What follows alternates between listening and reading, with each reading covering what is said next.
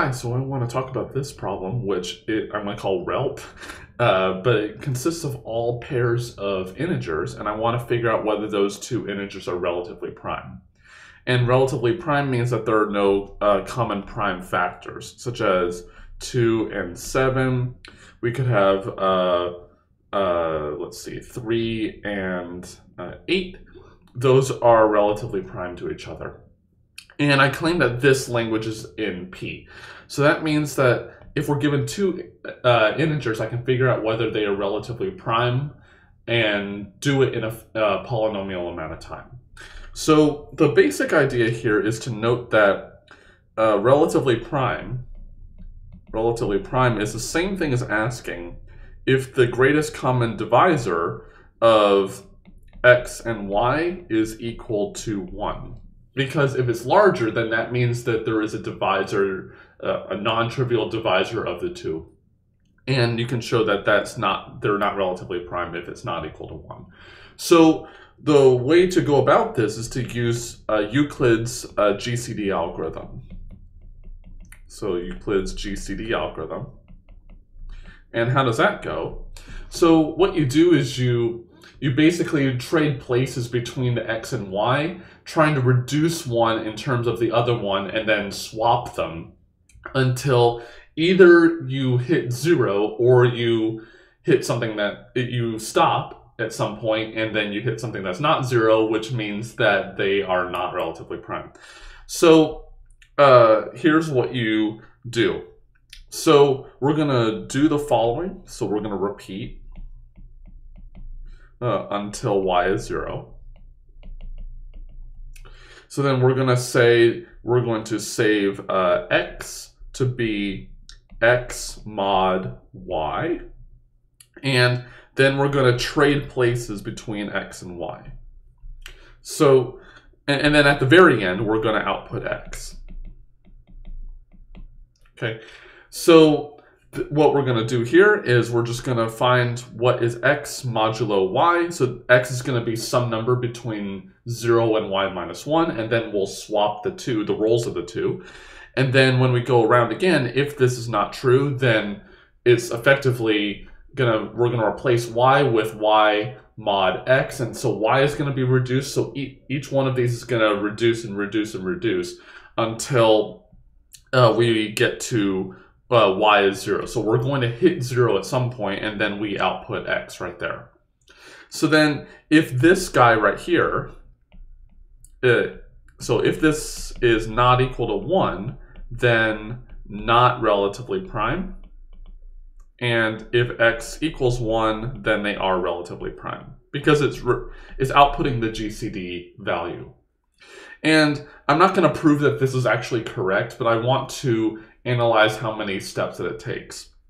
So uh, I need to show that this is uh, big O of n to the c runtime for some c. Okay, but the really important thing is, and this is extremely important to always keep in mind, what is this value of n? So the the c can be just some number, like 3 or whatever. But the n here, what is that? Typically, we just associate that with how big the input is, and here is no exception. But, per, but generally, when we are working with numbers, we work with the binary representation of the number.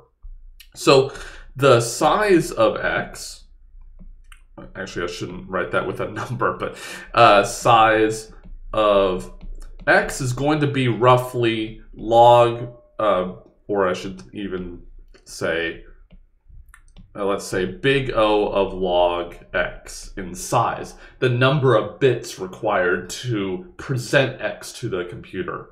Is so I can't just say like x to the c if like that happens to be the runtime because the number x is exponential in the size of x. So we're always working in our runtimes with the size of the input, not the valuation of the input here um, because one, it's standard, and two, why would we treat numbers any different than like an array or something? So we always treat it with the size here.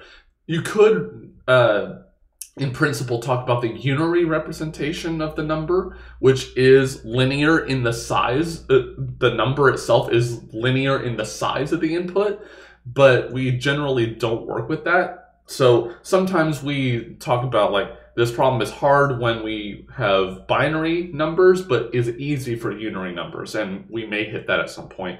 But here is log x, let's just assume. So one thing to note here is that the each time we do the modulo here, the number x uh, will uh, decrease by at least half every single time. So, so at each iteration, uh, x or y, whichever the one is the case, uh, decreases uh, by uh, at least half of it of its value each time. In fact, it could go a lot more if uh, x happened to have uh, something that's really close to a multiple of y here. So it, it could go, go way lower, but at worst, it can go down by a half. Um, and that's actually all that we need.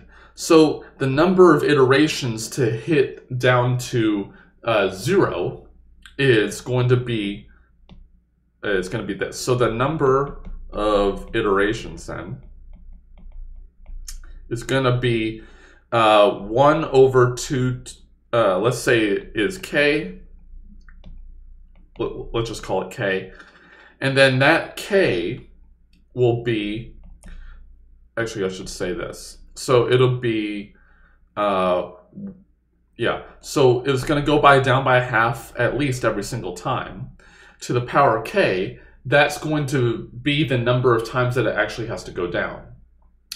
And for that reason, you can actually reason now that the number of iterations is going to be logarithmic in the in the actual number of uh, the number x here. So if we have x, then the number of iterations that go all the way down to to uh, y equals zero is going to be logarithmic in that because we're dividing by at least two every single time. And so therefore, what you can have here is that k is going to be uh, logarithmic in x. And actually, it's going to be logarithmic in the maximum of x, of, let's say, I'm not writing this right, log x and log y.